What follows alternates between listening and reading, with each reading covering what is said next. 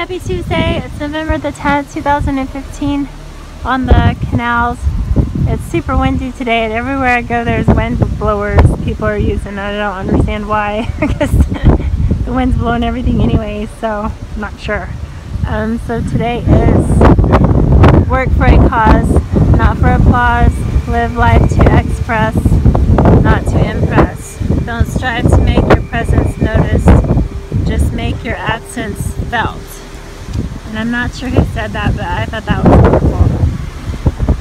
so, got a little bit of a cold from all the crazy wind. but um, makes you appreciate feeling good for sure. So, I hope you have a super duper duper rest of your.